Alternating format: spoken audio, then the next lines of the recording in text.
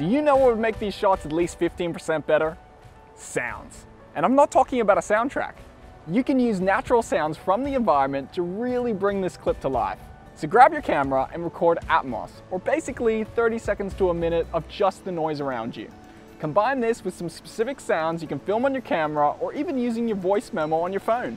And you can really start layering some awesome sounds that'll make your video more realistic and ambient. Artificial sounds can also be added to your video if you're wanting a bit more of a stylized effect.